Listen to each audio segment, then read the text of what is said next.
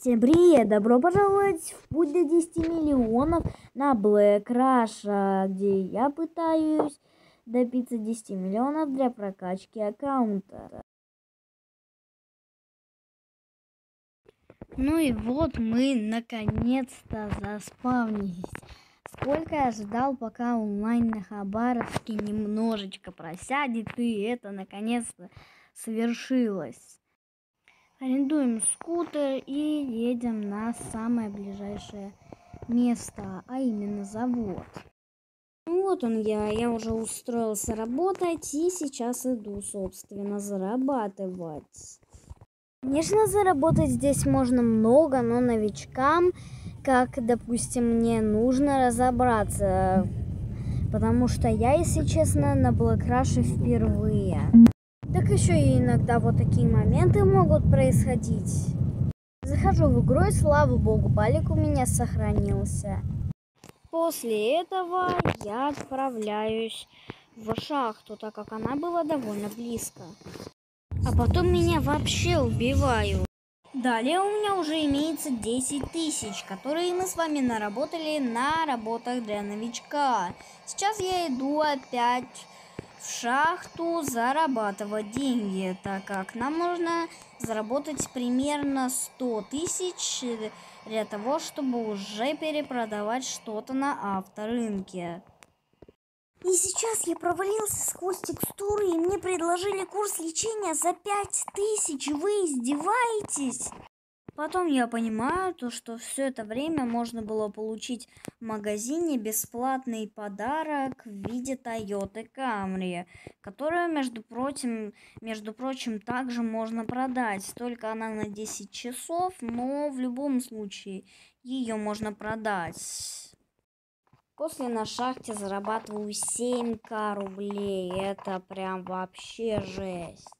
Случайно выполняю задание, которое на самом деле даже не думал выполнять, и получаю плюс 2 косаря. Вот так всегда бы. Выполняю задание посетить казик и получаю 2к рублей. Сейчас еще буду играть Блэк Джек и еще получу 2000 рублей. Потом меня вообще за что-то посадили в тюрьму. Потом смотрю, у меня и вовсе 6 звезд розыска. Что произошло-то? Хотел устроиться на курьера и случайно получаю 5000 рублей. Вот это круто. И этого решаюсь устроиться работать курьером. Только вот что и как здесь сделать, я немного пока еще не допираю. Но буду со временем понимать. И чтобы вы понимали, за один заказ целых 1700 рублей. Это много. Потому что здесь спамнится оно довольно близко, и тебе всего лишь нужно кататься. И где-то за 10 минут ты сможешь заработать примерно 15 тысяч. Хотя на той же шахте ты бы и 5 тысяч не смог заработать за эти 10 минут. Поэтому заработок такой неплохой. Единственное, очень редко, но все-таки бывает то, что спавнится далеко или тебя заводят в какой-то переулок, как на данных кадрах, из которого фиг пойми, как выбираться потом. А иногда так у тебя вообще могут мотик отбирать. Это вообще ужас. А иногда тебя вообще заводят в какую-то жопу мира, и тебе приходится что туда заезжать, э, что и уезжать такими же усилиями. Самое интересное то, что маршрут не прокладывает, как на GPS, и это довольно плохо. На самом деле, то, что тебя далеко возит, это даже хорошо, потому что чем дальше ты едешь, тем больше тебе платят. Но, конечно, заработок здесь нормальный, но ничего не сравнится с работами для новичков. Ведь на работах для новичков ты заработаешь от силы 3000 за 5 минут. А тут за 5 минут ты зарабатываешь целых 6000. Причем на работах для новичков 3000 это с условием пейдея, а тут без пейдея. Ну, здесь и битвы за байки. Постоянно то отбирают, то берут, то врут, то обманывают на эти байки. Постоянно какие-то фигни происходят. Потом меня сначала посадили в тюрьму, потом и вовсе в карцер посадили, и тут я уже зарабатываю. Оплачиваю штрафы. Ну, на права, конечно, сдавать и тяжело, лучше куплю их. Кушаю в ларьке, покупаю канистру, снова покупаю маску в ближайшем 24 на 7, потому что скоро ими буду торговать. Лечусь в больнице, кушаю в ларьке, который нашел. Вообще меня летающий бомж на мопеде доставил э, из тюрьмы. Добиваю 30 тысяч на курьере. Самое интересное то, что я добил 33 тысячи и меня вообще посадили в тюрьму. Я понимаю то, что это какая-то особая больница или что это вообще такое. Сваливаю из карцера. Этого где-то уже в Батырево меня добивает какой-то пожарный, я спавнюсь обратно в карцере. Классно. Не забываю, оплачиваю штрафы, так как скоро буду сдавать на права. После этого заникал Майк, получаю 50 тысяч, так как достиг третьего левела сюда.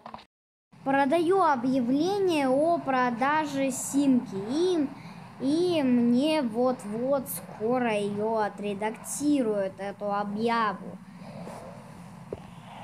Ну и, братки, Майка-то я смотрю, и я знаю то, что что не что, но на кладоискателе, которые, между прочим, с третьего левела, заработать можно очень, повторюсь, очень много.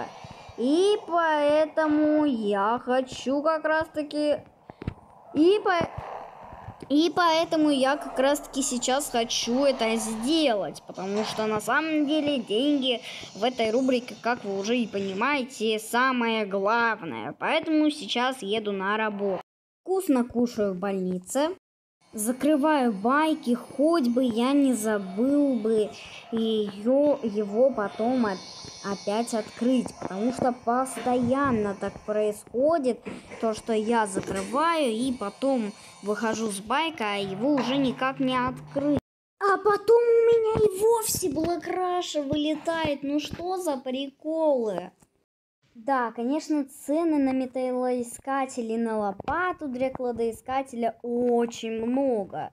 Но на самом деле три с половиной тысячи этим можно отбить буквально за несколько, за несколько, буквально за одну минуту работы. Ну, может, чуть-чуть побольше.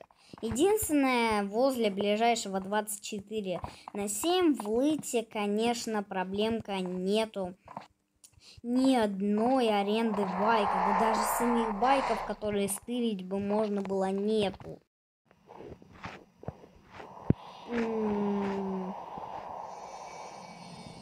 Ладно. Небольшая раздача денег. Небольшая раздача денег в больнице в Лыте.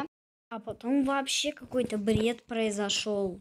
Человека, которого я увидел на дороге, и не получается. Ну и на самом деле заработать столь большую сумму за всего лишь 4 дня.